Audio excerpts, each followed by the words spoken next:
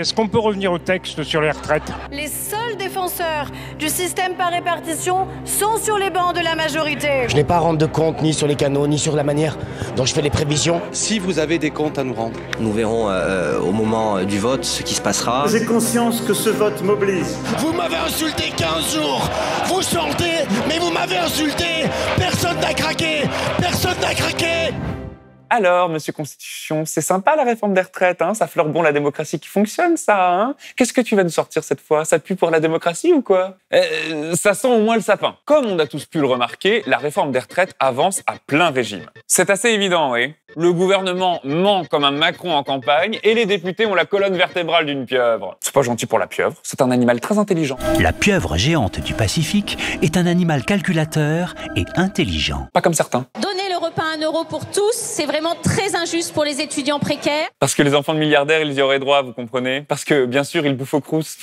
Au nom de l'article qu'Hubert Vulfranc vient d'inventer, est-ce qu'on peut revenir au texte sur les retraites? Ce projet de retraite est manifestement porté essentiellement par l'exécutif. Promesse de campagne de Macron, feuille de route de Borne, les députés de la majorité suivent sans conviction.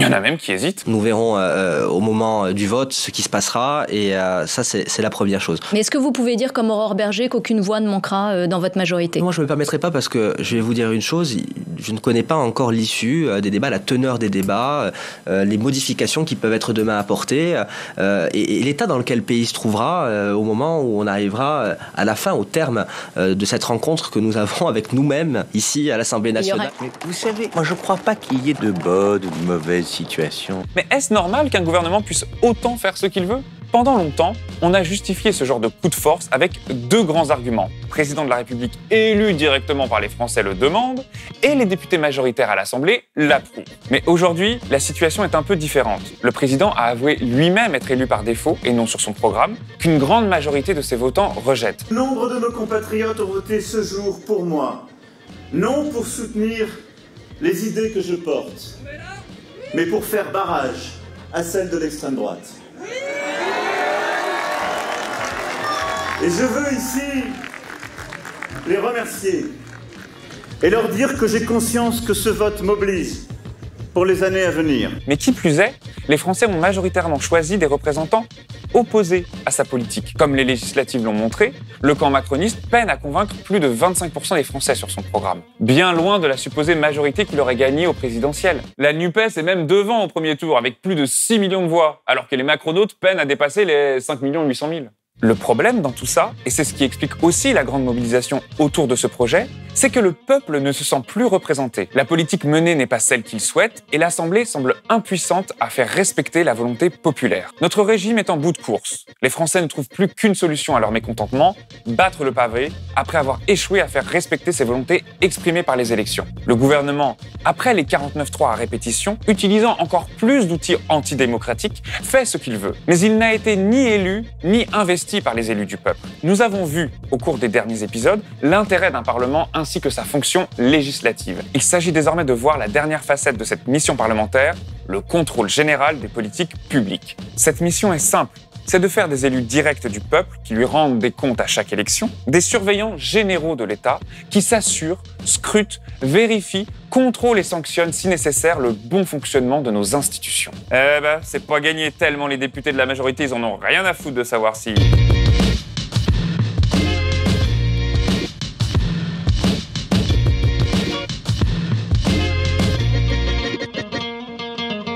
Cette surveillance qu'exerce le Parlement a deux grandes faces. Le contrôle général des politiques publiques qui existe dans tout régime démocratique et le contrôle politique du gouvernement, à savoir la confiance et la motion de censure. Comme on a pu le voir et le revoir, un Parlement est une assemblée collégiale, diverse et élue directement par le peuple.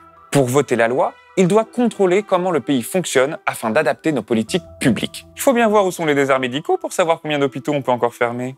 C'est pour ça que les parlementaires jouissent d'un certain nombre de pouvoirs pour mener à bien cette mission. Les traditionnelles questions au gouvernement qui sont l'occasion de demander publiquement des comptes au gouvernement sur sa gestion ou sa politique. Je n'ai pas à rendre de compte ni sur les canaux, ni sur la manière dont je fais les prévisions. Si vous avez des comptes à nous rendre. Étymologiquement, ministre vient du latin ministère qui, qui dit à mon service. Vous êtes, d'un certain point de vue, à notre service. C'est votre fonction. Vous devez répondre pour la clarté des débats, pour la sincérité des débats. Mais c'est aussi le droit pour les parlementaires d'enquêter. À cette fin, les groupes minoritaires sont souvent dotés d'un droit de tirage. Qu'est-ce qu'ils doivent tirer? Attention, pas de blague sur Abad. Hein. Oh non, écoutez, là, vraiment, c'est odieux. Hein. On ne peut pas rire de tout. Droit de tirage, c'est un nom saugrenu donné au droit pour ces groupes de constituer des commissions d'enquête. Vous me direz, un peu comme aux States, hein, où ces puissantes commissions peuvent faire et défaire les administrations présidentielles. En réalité, nos commissions sont assez faibles par rapport à celles de nos cousins outre-Atlantique. Mais le principe est le même. Les élus du peuple enquêtent sur des faits ou sur une question particulière pour s'informer et informer l'opinion publique. Ces commissions sont souvent liées à des questions de politique publique. Par exemple, la commission d'enquête sénatoriale sur l'affaire Benalla se posait la question du régime juridique applicable aux collaborateurs élyséens et à l'amélioration de leur encadrement. Et où il est le coffre à Benalla Bon, avec les milliards de masques commandés par Buzyn.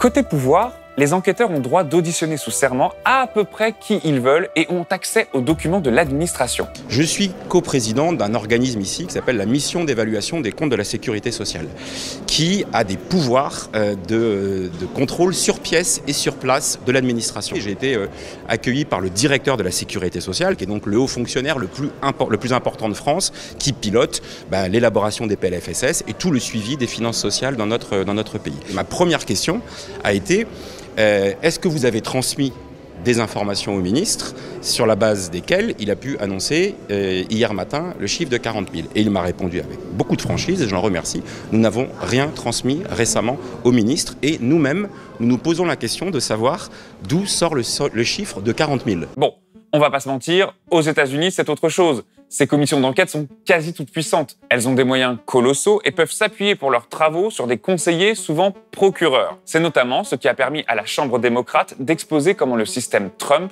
avait réussi à faire advenir l'assaut du Capitole le 6 janvier 2021.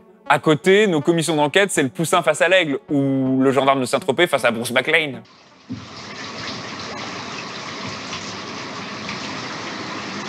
Tous ces outils d'enquête, de questions, d'audition sont certes assez modérés en France, mais ils sont très importants quand même. Un ministre, ça a toute une administration qui fournit rapport sur rapport, enquête sur enquête. Les informations, ils les ont. Les députés, au contraire, sont assez seuls.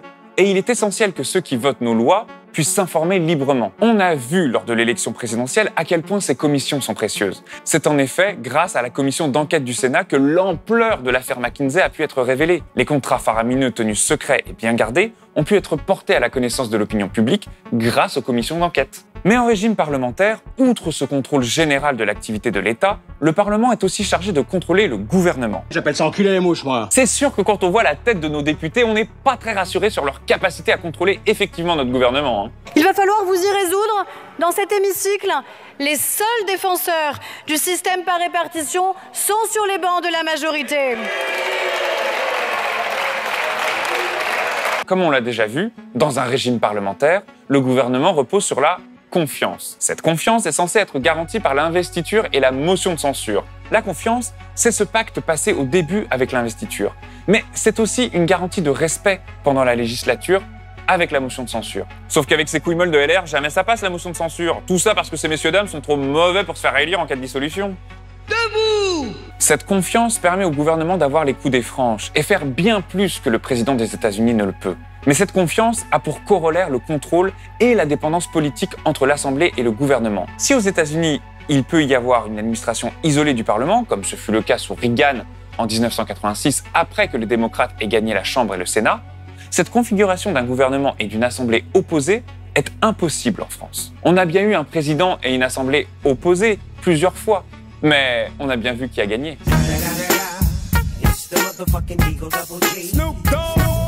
Les législatives de 2022 ont été une leçon pour tout le monde, mais le prix en est payé aujourd'hui par les Français. En 1958, notre Constitution a été rédigée avec la hantise d'un Parlement ingouvernable, divisé et indécis. On a donné de nombreux outils au gouvernement pour manœuvrer à travers ce marécage parlementaire. Mais ces outils étaient pensés toujours avec l'idée que les gouvernements resteraient raisonnables et chercheraient de bonne foi à composer pour gouverner. Aujourd'hui, après 60 ans de présidentialisme à tout craint, il n'en est plus question. Le contrôle que le Parlement exerce sur le gouvernement est largement illusoire. Qu'ils ne veuillent pas l'exercer comme les députés du camp macroniste ou qu'ils ne le peuvent pour l'opposition. On l'a vu. L'investiture semble désormais une formalité dispensable et le gouvernement peut fonctionner sans avoir le soutien d'une majorité à l'Assemblée. La motion de censure, très restrictive, devient chimérique. Les commissions d'enquête, rares, ont même été refusées à la NUPES lors de sa niche parlementaire, fait rarissime sous la Ve République. Ah bah oui, mais c'était, je cite, une commission d'enquête relative aux révélations des Uber Files et au rôle du président de la République dans l'implantation d'Uber en France. Et du coup, pas de commission d'enquête sur Uber ou l'argent d'Uber? Si, c'est bon. Ils ont dit qu'ils visaient plus le président, mais juste le rôle des responsables publics de l'époque. On avait fait un énorme tacle par derrière. C'était une manœuvre de diversion. Habile. Ces faits séparés ne sont peut-être pas grand-chose, mais ensemble, ils font système. Un système valorisant l'irresponsabilité, l'arbitraire et le caprice politique d'un président toujours plus isolé, mais paradoxalement d'autant plus libre d'agir à sa guise. Le gouvernement, dispensé d'une véritable confiance de l'Assemblée, parvient à naviguer dans des eaux que seuls les régimes non démocratiques fréquentent.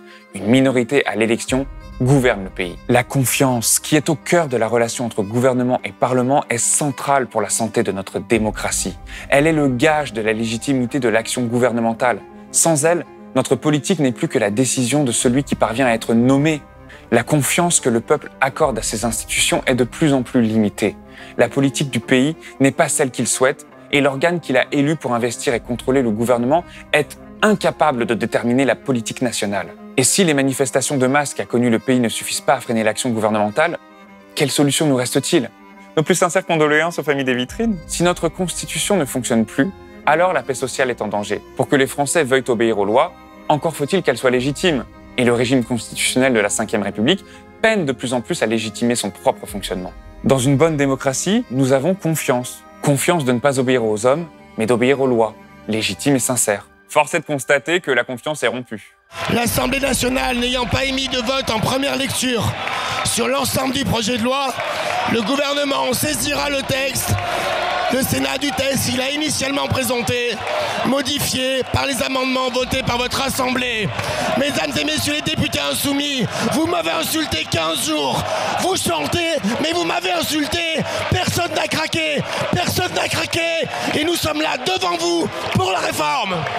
Si vous aussi vous pensez que la Ve République est en bout de course ou simplement que vous aimez voir des marioles dire des bêtises à peine plus grosses que celles de Macron, soutenez Blast, likez, commentez, partagez.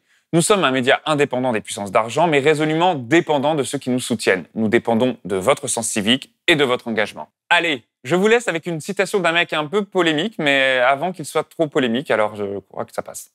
Faire confiance aux hommes, c'est déjà se faire tuer un peu. Céline, voyage au bout de la nuit. Personne n'a craqué Personne n'a craqué